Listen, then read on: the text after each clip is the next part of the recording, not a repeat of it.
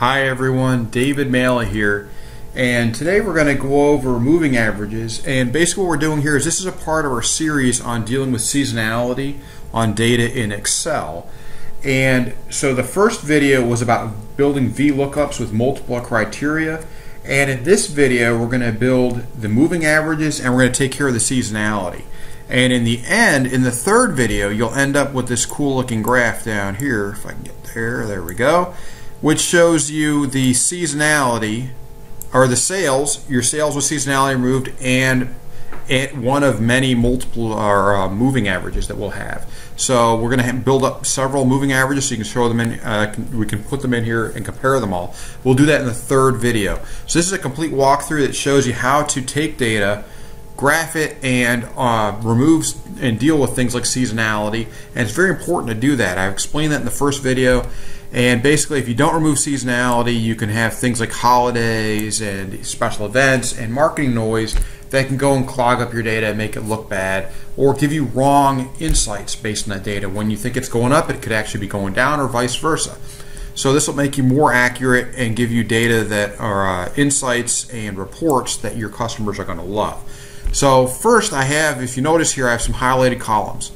So what I want to do is I'm going to go over moving averages where we're going to deal with, uh, we have this gray column here which is our total sales. This is again the Frisbee Golf Store sales um, data set and this is a campaign data so this is pre, post, and during data and what we have here is we have moving average 3, moving average 4, and median average 3. What these are is by 3 weeks, 4 weeks, and 3 weeks. So what I'm going to start with is the moving average for a three week moving average period. So let's start with this. So what we'll do is we'll go in here and click in here and you'll see my function or my formula here is for the average function with a range of C2 to C4. Okay, and the reason why I'm doing that is I want a three week moving average including the current week. So that's what we do, and then once we build that, we hit enter, we get this, and then we get this little plus right here, double click that, and it carries it down the screen down your row. Now I also take it from here and copy it up the row. So it'll fill this one in and give me a null in here. Then what I do is I do the same thing for 4. But see how it's a uh, slightly longer period. So it's now C2 to uh, C5, right? Which is a 4-week period instead of a 3-week period. Four-week period tends to give you a little bit smoother uh, curve, but you, you'll have to look at it and see for yourself what you want to do. It depends on your data, it depends on the terms of your data, it depends on your customers, what you're doing with it. So then next to it I have median average, which is a little bit different. So this function involves, instead of average, it's the median, and then we put a range. So in this case, this is a three-week median average. So it's three weeks of, so it's C2 to C4, just like we did for this one here. I could have done a four-week or a five-week. It would be the same way, but just different, you know, different uh, length here for that range. So once you've done that, same thing, copy it down, copy it up. We've got all the three of these.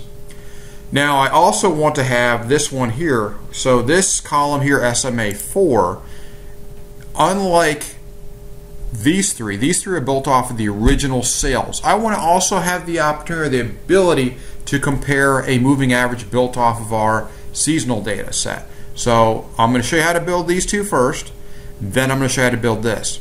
So we've already built these three. Next, I already in the first video brought over this rank column, right? See this rank column here? So we've got that VLOOKUP is right here. Next, what I want to do is I want to build the rank factor. So each one of these, I know that 4 is the highest, 1 is the lowest. So I want to account for that in the quintiles that they're in. So I've got this rank factor column right here. And as you look at this, what I've done is I've built a nested if statement. So it says if I2, I2 is the rank, see that it's building off the rank. If it equals 4, which is the highest, I want a 0.4 factor. I want to multiply it by 0.4. If it's 3, 0.6. If it's 2, 0.8. And anything else, 1, which means that if it's a 1, it gets a 1. So 1's the lowest, 4's the highest. So what I'm doing is I'm taking out the higher uh, uh, numbers and I'm averaging it better. And so this deals with seasonality. It removes like an extreme holiday, the outliers, the uh, uh, you know weird noise campaigns, things like that. It smooths it, and it smooths it by quintiles. Quintiles, we got four different groups or quarters. you can look at. And uh, what we do here, so we've done that, we carry that down. Once we've done that uh, formula, just like I showed you right there, okay? Again, this is the formula right up here in the formula bar, okay? What we do is we carry that down by hitting the little plus there, double clicking it. Carries it all the way down through our data, and you can see then these are the factors that I'm going to be multiplying the total sales by to get what's in the next column. So the next column, all it is is this, this the total sales column C2 times M2, and then I carry that down. That's how I get the seasonalized data, or deseasonalized. That's a better way to say it, where it has seasonality noise and uh, uh, you know trending and cycling and things like that removed from it. So then, once we've done that, I want to build a moving average based off of this sand sales sand seasonality column. So I'm going to do the same thing as I did here for MA4.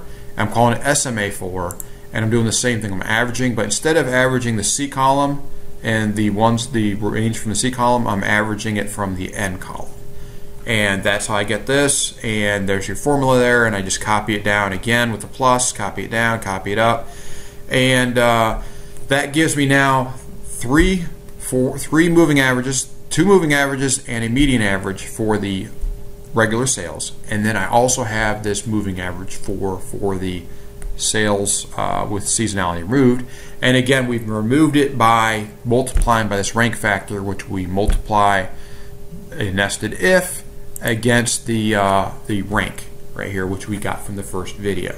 So in the next video, what we're going to do is we're going to go into creating a nice pivot chart or pivot table and then a pivot chart and we're going to show you how that to include everything here so that you have your total sales, the original total sales, any one of those four moving averages, and then uh, your sales seasonality. So you can sit there and say to your you know your boss or your your requesters, hey, look, this is why I removed the seasonality because it's, you know, or this is why I had to go with this number versus this or this graph versus this because the seasonality in it makes it look like it's going up when it's actually not.